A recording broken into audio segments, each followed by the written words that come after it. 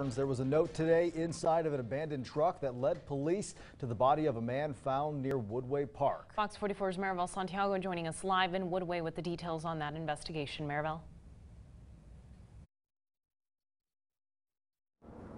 Well, police had to close off much of Woodway Park 2 after deputies found the body here and found a truck miles away down the road. Now, around 10:30 this morning, they responded to reports of an abandoned vehicle by the Twin Bridges near Lake Waco.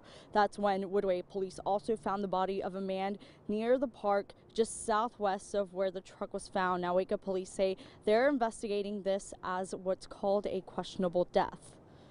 We're calling it at this point. We're trying to determine exactly what occurred. We do believe that that body uh, is linked to the vehicle that, that was located in that area as well. The Justice of the Peace pronounced the man dead at the scene, and investigators are waiting to release the man's name until after they notify next of kin. An autopsy has also been ordered, and police say there is no threat to the public. Live in Woodway, Maribel Santiago, Fox 44 News.